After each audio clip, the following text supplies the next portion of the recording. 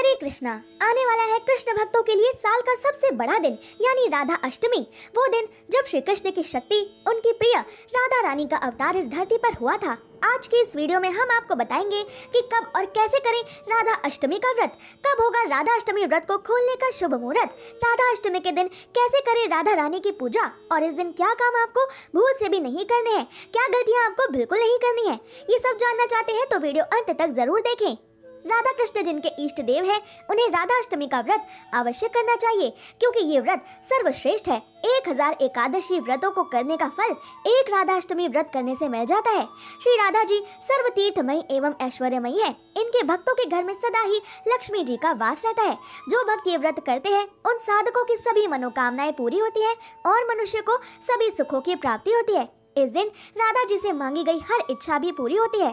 जो मनुष्य श्री राधा जी के नाम मंत्र का स्मरण एवं जाप करता है, वो धर्मार्थी बनता है। उसे महालक्ष्मी की कृपा से धन की प्राप्ति होती है और मोक्ष की इच्छा रखने वालों को मोक्ष मिलता है। राधा जी की पूजा के बिना श्री कृष्ण की पूजा अधूरी रहती है। एक बार देवर्षि नारद ने भगवान सदाशिव से चरणों में प्रणाम करके पूछा कि श्री राधा देवी लक्ष्मी देव पत्नी महालक्ष्मी, सरस्वती अंतरंग विद्या वैष्णवी, मूल प्रकृति, वेद कन्या, मुनि कन्या आदि में से कौन है? इस प्रश्न के उत्तर में भगवान शिव ने कहा कि किसी एक बात की क्या कहें कोटि कोटि महालक्ष्मी भी श्री राधा के चरण कमलों की शोभा के सामने नहीं ठहर सकती। इसलिए श्री राधा के रूप, गुण और सुंदरता का वर्णन किसी एक मुख से करने में तीनों लोकों में कोई भी सामर्थ्य नहीं रखता। उनकी रूप माधुरी जगत को मोहने वाले श्री कृष्ण को भी मोहित करने वाली है। इसलिए इन्हें मदन मोहन मोहिनी भी कहा जाता है।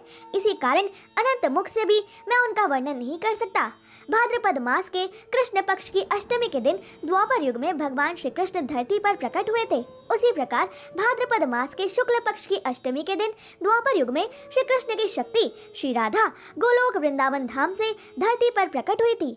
क्योंकि श्री राधा ही श्री कृष्ण की शक्ति है और बिना श्री राधा के गोविंद पृथ्वी पर अपनी अवतार लीला नहीं कर सकते थे। साक्षात श्री कृष्ण ने ही श्री राधा से प्रार्थना की थी कि मेरा पृथ्वी पर अवतार लेने का समय आ गया है, अतः आप भी अवतार लीजिए। तब श्री राधा से पहले पूरा गोलोक वृंदावन एक अलग स्वरूप में धरती पर प्रकट हुआ था, क्योंकि जहाँ वृंदावन नहीं, जहाँ गोवर्धन नहीं, जहाँ यमुना नहीं, वहाँ राधा रानी अवतार नहीं लेती। धरती पर व्रज क्षेत्र वृंदावन बनने के बाद श्री राधा यहाँ राधा अष्टमी के दिन अवतार लेती है।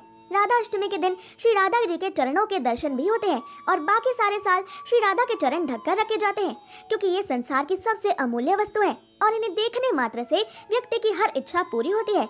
आइए अब जानते हैं राधा अष्टमी व्रत पर पूजा के शुभ मुहूर्त।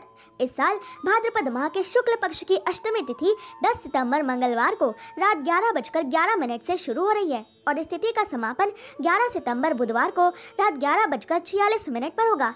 उदया तिथि के आधार पर राधा अष्टमी का पावन पर्व 11 सितंबर 2024 को ही मनाया जाएगा और इसी दिन राधा अष्टमी का व्रत भी रखा जाएगा।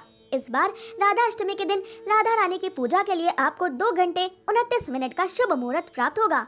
जो लोग व्रत रखेंगे, वो दिन में ग्यारह बजकर तीन मिनट से दोपहर एक बजकर बत्तीस मिनट तक राधा अष्टमी की पूजा कर सकते हैं। राधा अष्टमी की पूजा दोपहर भी करते हैं और दोपहर के समय में ही राधा रानी का पंचामृत, यानी दूध, दही घी, शहद और चीनी से अभिषेक किया जाता है। राधा अष्टमी पर ज्येष्ठा नक्षत्र सुबह से लेकर रात नौ बजकर बाईस मिनट तक रहेगा। उसके बाद मूल नक्षत्र प्रारंभ होगा। इस दिन ब्रह्म मुहूर्त सुबह चार बजकर बत्तीस मिनट से सुबह पाँच बजकर अठारह मिनट तक रहेगा। वहीं राधा अष्टमी के दिन कोई अभिजीत मुहूर्त नहीं है। इस साल राधा अष्टमी के दिन दो शुभ योग बन रहे हैं। राधा अष्टमी पर प्रीति योग सुबह से लेकर रात ग्यारह बजकर पचपन मिनट तक बन रहा है। इसके बाद आयुष्मान योग बनेगा। राधा अष्टमी की पूजा प्रीति योग में ही होगी। वहीं रवि योग का निर्माण रात में नौ बजकर बाईस मिनट पर होगा और अगले दिन 12 सितंबर को सुबह छह बजकर पाँच मिनट तक रहेगा। आइए अब जानते हैं राधा अष्टमी की पूरी पूजा विधि। अन्य व्रतों की भांति, इस दिन भी प्रातः काल सूर्योदय से पूर्व उठकर स्नान आदि क्रियाएँ पूरी करके श्री राधा जी का विधिवत पूजन करना चाहिए। इस दिन श्री राधा कृष्ण के मंदिर में ध्वजा, पुष्पमाला, वस्त्र, पताका, तोरण, फूल व विभिन्न प्रकार के मिष्ठानों एवं फलों से श्री राधा जी की स्तुति करनी चाहिए। इस दिन राधा कृपा कटाक्ष और राधा सहस्त्र नाम अवश्य पढ़ना चाहिए। पूरे दिन व्रत करना चाहिए। आप राधा अष्टमी का व्रत बाकी आम व्रतों की तरह फल खाकर, जल पीकर कर सकते हैं, पर इस व्रत को निर्जला करने से सबसे ज़्यादा पुण्य की प्राप्ति होती है। निर्जला व्रत में राधा अष्टमी पर कुछ भी खाया पिया नहीं जाता।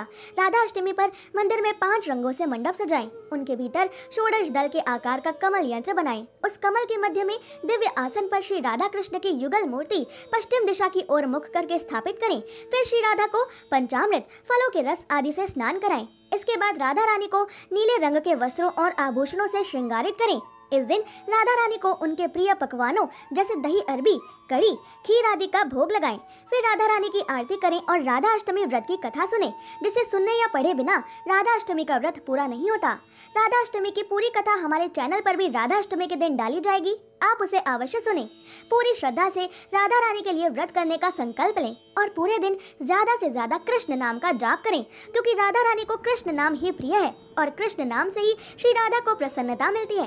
राधा अष्टमी के दिन राधा रानी कोई उपहार अवश्य प्राप्त करती है, इसलिए उन्हें कोई उपहार अवश्य दे। राधा रानी को पायल बहुत प्रिय है तो इस दिन राधा जी को पायल चढ़ाना अत्यंत शुभ होगा। साथ ही इस दिन श्री राधा को सोलह श्रृंगार चढ़ाना भी बहुत शुभ होता है। राधा अष्टमी के व्रत में कोशिश करें कि आप रात में भी जागरण करें और कम से कम सोएँ। राधा अष्टमी का व्रत आप अगले दिन सूर्योदय के बाद खोल सकते हैं। राधा अष्टमी का व्रत खोलने के लिए पहले राधा रानी की पूजा सुबह उठकर करें और उन्हें घर पर सात्विक तरीके से बिना प्याज, लहसुन के बनाए गए भोजन का भोग लगाएँ। ये भोग कैसे भी हो सकते हैं, मीठे या नमकीन। इस भोग को ही प्रसाद के रूप में खाकर आप अपना व्रत खोलें। आइए, अब जानते हैं कुछ ऐसी भयंकर गलतियाँ जो आपको राधा अष्टमी के दिन बिल्कुल भी नहीं करनी चाहिए। राधा अष्टमी पर काले कपड़े पहनकर पूजा ना करें, क्योंकि शुभ अवसरों पर काले वस्त्र नहीं पहने जाते। इस दिन पीले या नीले रंग के कपड़े पहनना शुभ होगा। इस दिन व्रत भी नहीं कर पा रहे हैं तो कम से कम इस दिन अपने घर में, खाने में प्याज, लहसुन ना डालें और इस एक दिन पर सात्विक खाना खाएँ, क्योंकि ये परम भगवान की सबसे प्रमुख शक्ति श्रीमती राधा रानी का पृथ्वी पर अवतार लेने का दिन है। राधा अष्टमी के दिन श्री कृष्ण को चढ़ाने के लिए तुलसी के पत्ते ना तोड़ें, क्योंकि तुलसी देवी राधा रानी की प्रिय सखी और सहचरी है। और राधाष्टमी के दिन तुलसी देवी का भी व्रत होता है, जो आपके तुलसी में पानी देने या पत्ते तोड़ने से टूट जाता है। इसलिए आपको राधा अष्टमी पर तुलसी में ना ही पानी देना है और ना ही आपको तुलसी देवी के पत्ते तोड़ने हैं। श्रीमती राधा रानी को तुलसी पत्र नहीं चढ़ाया जाता। इसलिए आप तुलसी पत्र केवल श्री कृष्ण को ही चढ़ाएँगे। राधा अष्टमी पर श्री कृष्ण को तुलसी चढ़ाने के लिए आप एक दिन पहले ही तुलसी के पत्ते तोड़कर पानी में रख लें, जिनका प्रयोग आप राधा अष्टमी के दिन पूजा में कर सकते हैं। ऐसी और ज़रूरी जानकारियों के लिए हमारे चैनल को सब्सक्राइब करना बिल्कुल ना भूलें। हरे कृष्णा।